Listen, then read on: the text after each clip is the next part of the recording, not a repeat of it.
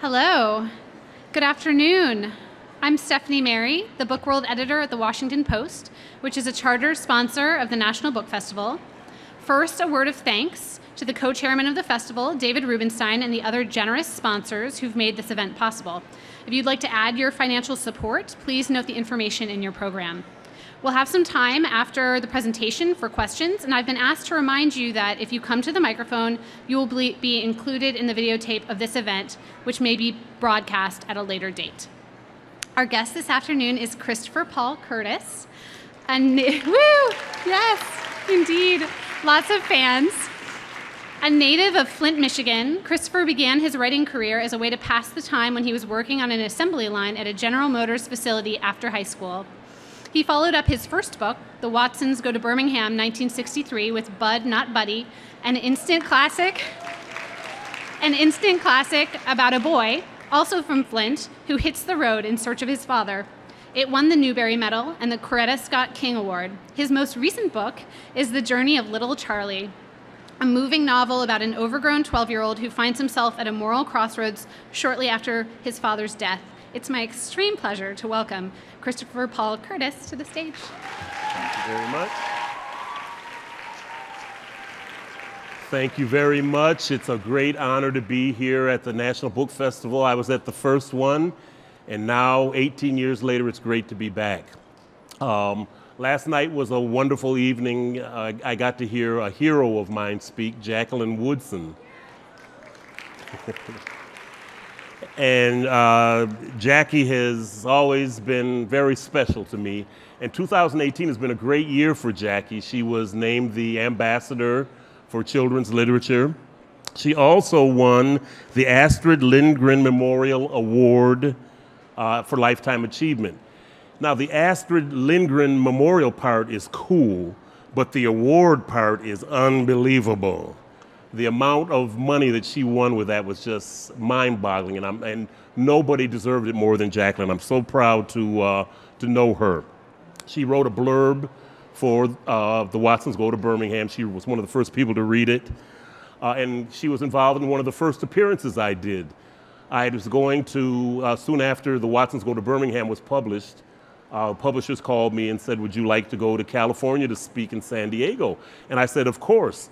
So I flew out to San Diego. Um, I, I didn't understand how things worked. I was broke. I had like $40 and I was going to be in San Diego for four days. So I was trying to figure out how I was going to uh, ration this to buy my meals. We were driving in from the airport, uh, and the cab driver said, This is the hotel. It was on one side of the expressway. On the other side of the expressway was a Denny's. And this was back when Denny's had the 199 are you out of your mind? Promo going on. And i thought hallelujah denny's. So i go in uh, in this beautiful room. I'm in there but i'm hungry so i decide to go to denny's. I walk out. There's about a two mile run of expressway this way a two mile run of expressway that way. So i decide i'm going to cross the expressway. And if any of you have ever seen the movie bowfinger I'm pretty sure that was based on me, where Eddie Murphy's trying to run across the expressway. So anyway, I ran across eastbound, I ran across westbound, I got to Denny's, I had my 199 meal, I ran across westbound, I ran across eastbound, came back, and then I had the chance to meet Jackie. And we talked for a while, and I said to her, How do you, you travel a lot, don't you? And she told me she does. And I said, How do you afford this? And she said, What do you mean? I said, it, Doesn't it get expensive eating out all the time? And then she said, Jacqueline Woodson has said two things to me that are just emblazoned in my mind that I'll remember forever. And she said, No, no, no. The publisher pays for everything. And in the words she says that I'll remember forever they don't even care if you eat the peanuts out of the minibar. So uh, I, I was very grateful to Jackie. I said, You know what, Jackie, is there anything I can do for you? Anything. And the second thing that Jackie said to me was, and this is emblazoned word for word too, she said, Look, why don't we make a pact?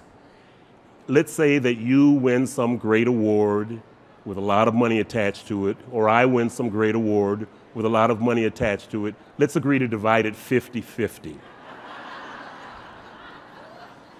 Jackie was notified of the award in March By the time May came around, I was wondering why I wasn't getting any calls or emails or anything.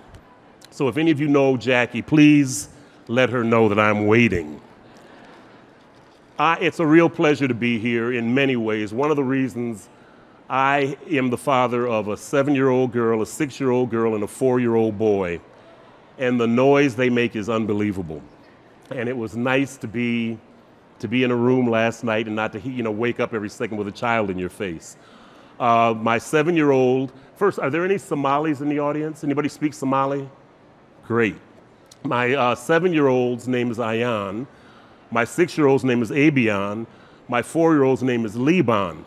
And in the Somali tradition, names are very important. It's uh, something that the child's going to have for the rest of their life. So it's got to be something that's very important. So I did a lot of research on the names. And the name Ayan I discovered means, and I get this confused, daughter of the handsomest, kindest, most intelligent, most charming man in the clan. Abion means another daughter of the handsomest, kindest.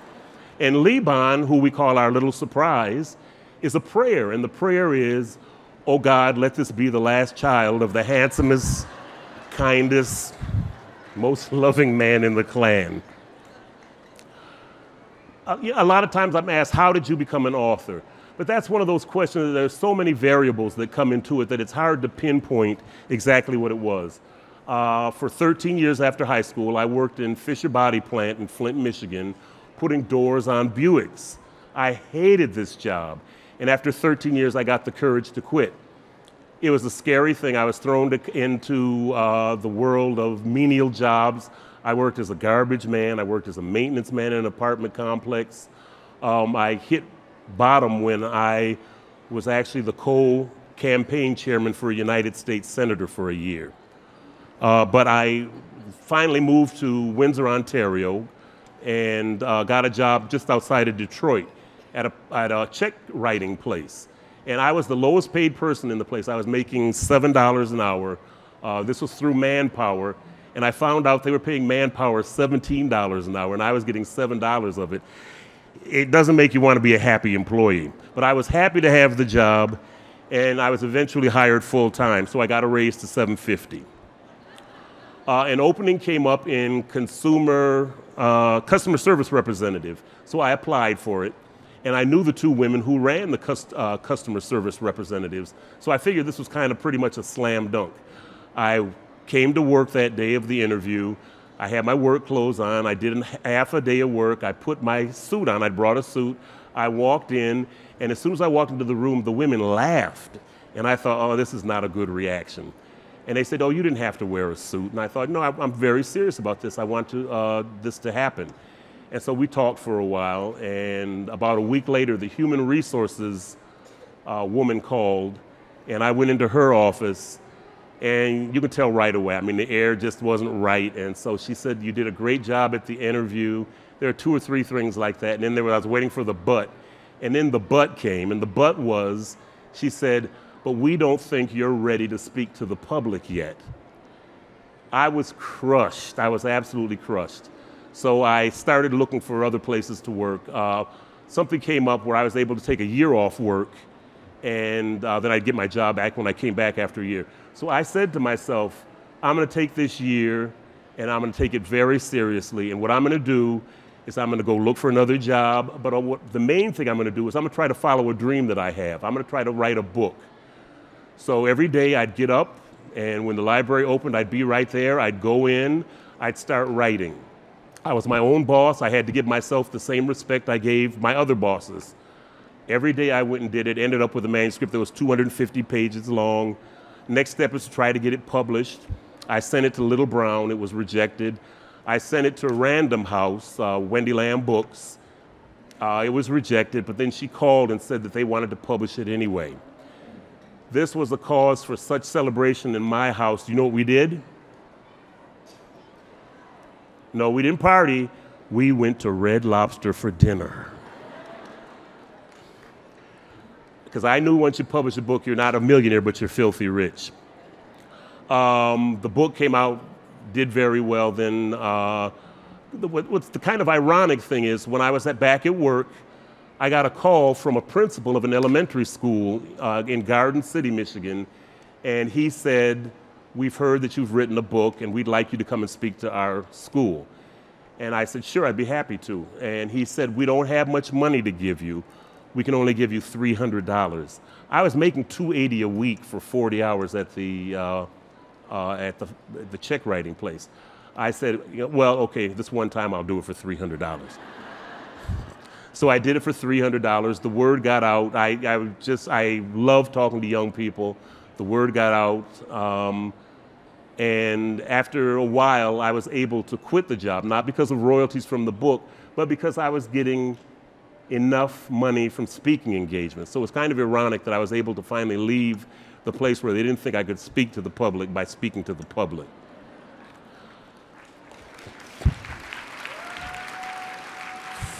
Thank you. I felt the same way. I applauded a long time. um, my, the, the books that I'd like, the book I'd like to talk about now is uh, The Journey of Little Charlie. This, of course, everybody knows is Michigan. This is Michigan. And I'm from a city right here called Flint. Right here is Detroit. About 40 miles inside of Canada over here is a little settlement called Buxton, Ontario. And Buxton was uh, started by a Presbyterian minister, I believe he was from Kentucky, whose wife inherited slaves. He felt it was immoral, so he allowed the slaves to work uh, on the farms around there and keep their wages. He still thought that was immoral, so he bought this land in Canada. It was three miles by six miles, and he used it as a settlement for people who have escaped from slavery. Uh, the cool thing was this became very well known throughout the United States, and this is where a lot of the people from the Underground Railroad uh, ended up. I'd always wanted to write a book about slavery, but I, I write first person, and it's difficult for me. I like to put myself into the mind of the character that I'm writing about, and it's difficult for me to imagine what it would be like to be a slave. I had, I, I don't think any of you could imagine it, and I knew I couldn't imagine what it'd be like to have to think of yourself as an animal. And the worst thing I thought is that you'd have to think of your children. You'd have to teach your children that they are animals if you wanted them to live, uh, if you wanted them to uh, survive as a slave. So uh, I, I, knew I couldn't write a story from first, uh, first person story from the uh, viewpoint of somebody who would even escape slavery because we understand so much about post-traumatic stress. There, there must have been post-traumatic, uh, severe post-traumatic stress. So I thought, okay, if I write about Buxton, I can write about the first child who was born free there. Uh, so I, I wrote uh, Elijah Buxton. Um, I'm asked a lot of times by young people, what is your favorite book? And at author school, when you go to author school, they teach you a standard answer to a lot of questions. That's not real. There's no such thing as author school. They teach you standard answers. Uh, and the answer to that is you're supposed to look very serious and say, when a child says, What is your favorite book? You're supposed to say, Oh, my books are like my children. I don't have favorites. I have favorite books and I have favorite children. And since this is being recorded and my children will see this, Ayan is my favorite seven year old, Abion is my favorite six year old, Liban is my favorite four year old.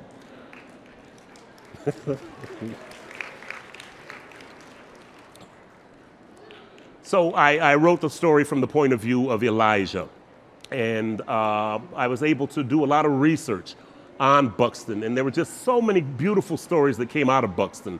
One of them was the story of a girl from New Orleans, a slave girl, who had been brought by her uh, enslaver's family to Detroit as, as a servant. She was, she was a toy, really, for the uh, slave family's child. Uh, black children were done used like this often. They were to be a companion and a toy. So she was a toy for this girl. She went to, she was about 10 years old. She went to Detroit. She came back home. Uh, her mother asked her how things were, what happened. And she told her mother, I was in Detroit. And did you know that I looked right across a river, and on the other side of the river was Canada? And the, this was in the, uh, the records in Buxton. The mother slapped the girl and the girl grabbed her face and said, Why? Why did you slap me? And the mother said, you saw Canada and you didn't do anything that you could to try to get to it. And the little girl said, But mommy, I'd never see you again. And she slapped her again and she said, Do you know what's waiting for you here? Do you know I know what's waiting for you here? If that happens again, you go do whatever you can and you get across that river. They took her again. She escaped. She was one of the uh, people who grew up in Buxton. Uh, the Journey of Little Charlie, which is the third of the books, is the story of a boy named, uh, he was originally called Chucky Bobo. But see that, and the name was changed. and you, writing to the young people, my relationship with my editors is a lot like your relationship with an English teacher. They know things that you don't know. And if you're smart, you listen to them. Uh, I listen to what my editors have to say. And they didn't like the name Chucky Bobo because they said, when you say Chucky, everybody thinks of the little murderous doll. And so I, I, thought about it, and you know, you write the whole story, and then I, I, it was hard, but I said, okay, I agree. So we called the book Little Charlie, The Journey of Little Charlie. And Little Charlie is a six foot four, 12 year old boy who is shanghaied into going north uh, from Possum Moan, South Carolina. He goes north to Detroit to try to retrieve a family that had run away years before. They finally were found, and uh, the, the slave catcher took Charlie with him uh, to find them. It, the story goes into Canada. It touches on Buxton again, and it's called uh, part one of the part of the Buxton Chronicles. Um, I, it, it's funny as an author the way you, the relationship you have with a book, because I didn't particularly think it was a strong book, even after we'd worked on it for a long time. And uh, but it's been the best reviewed book that I've done, that I've written, and and I'm happy for that. But uh, I'm, I'm beginning to wonder if I can judge, if I'm a bad judge of my own books. Um, my career as a writer has a lot of great things have happened to me. One of the coolest things is uh, several years ago, I got a call to come to New York City uh, because somebody wanted to make a movie out of the Watsons to go to Birmingham. So I go to, to New York City and I met Whoopi Goldberg, and she bought the rights to make a movie. And that wasn't the cool thing. The cool thing was Whoopi brought a doll for my daughter, and it's a Whoopi doll. And I think Whoopi had some bad when she was trying to get rid of, because mine looks like it's got a sore neck, and its head is hanging like this, and its dreads are hanging down like that and it's holding something called Hi-Chew. And Hi-Chew is a candy from uh, Japan that the people weren't eating right. They were chewing it and spitting it out like gum. They wanted them to chew it and swallow it. So their solution was to make this doll. So I'm sitting at this table and Whoopi, there's Whoopi, there her five assistants are.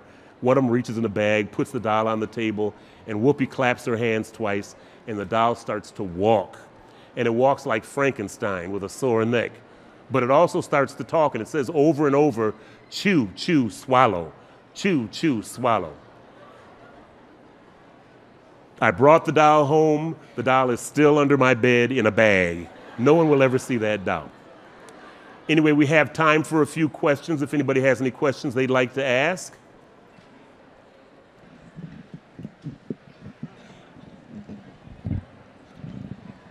Um, hello. Uh, hello.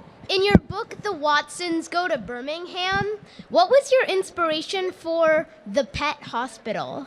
Ah, the uh, world famous Watson Pet Hospital. As a writer, are you a writer? Okay, you're a writer.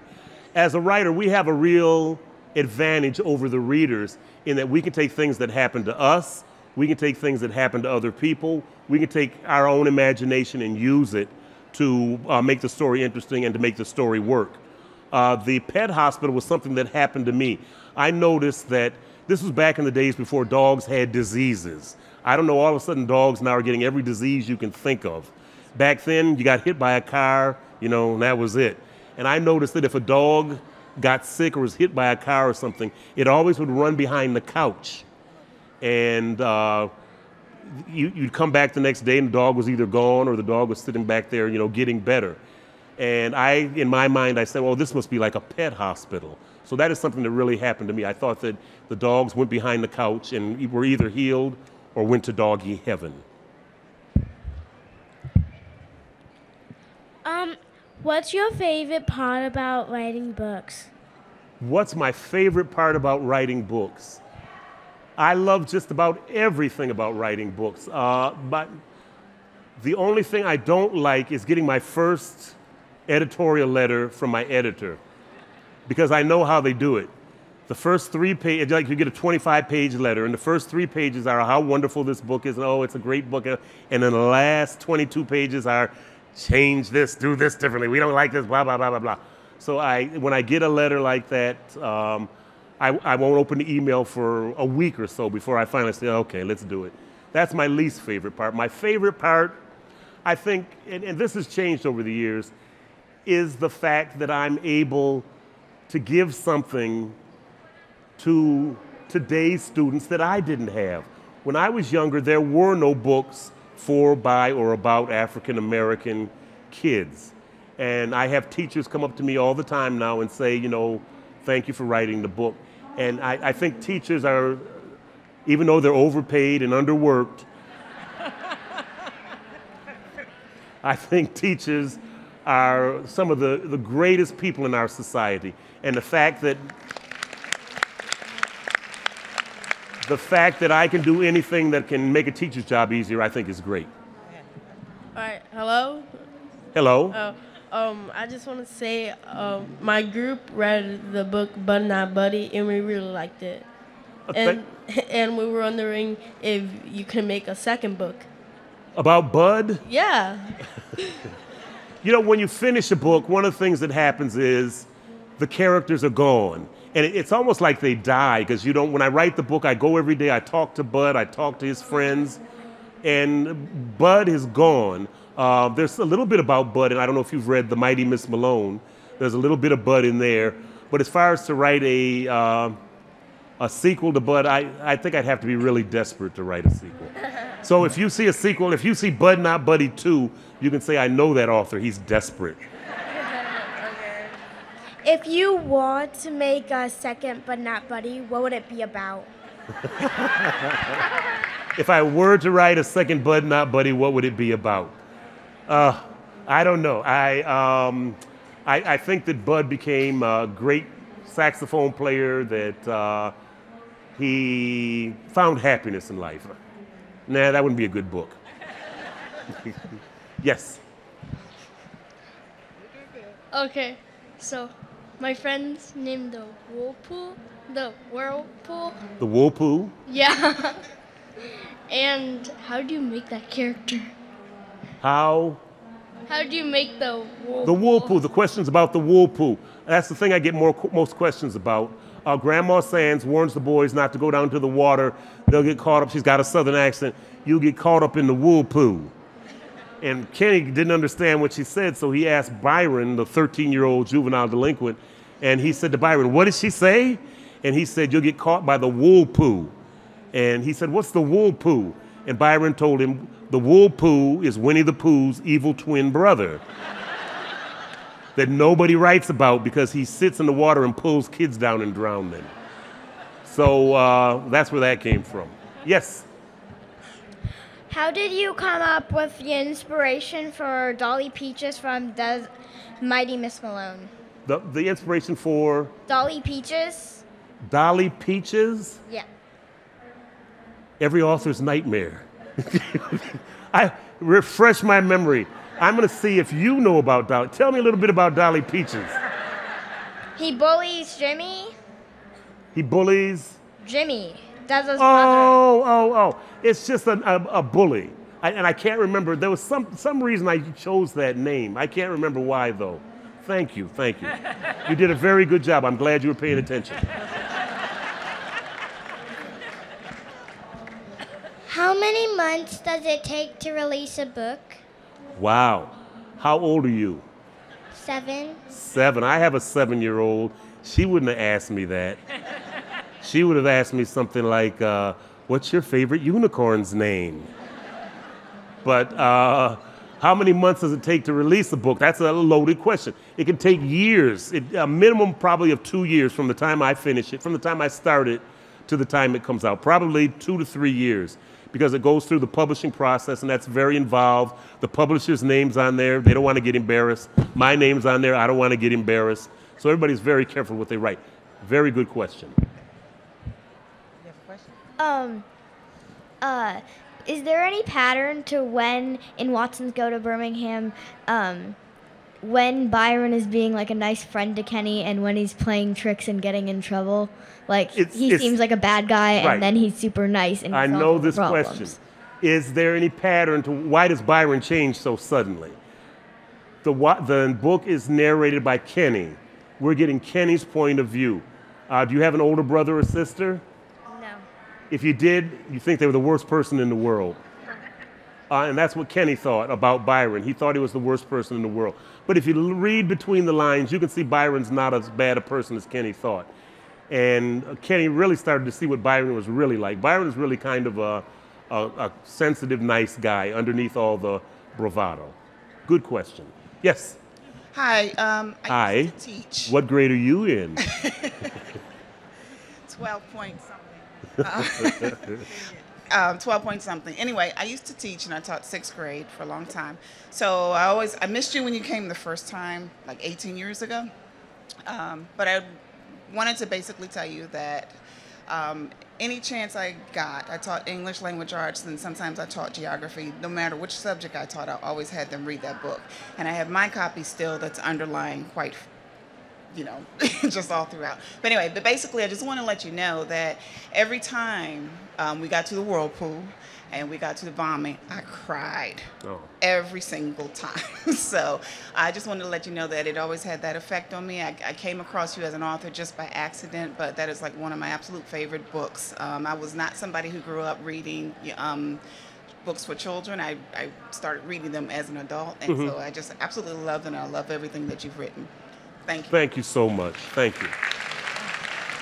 I'm getting the wrap it up sign, so I'd like to say thank you to all of you for supporting me through the years and keep reading and support your teachers and your librarians. Thank you very much.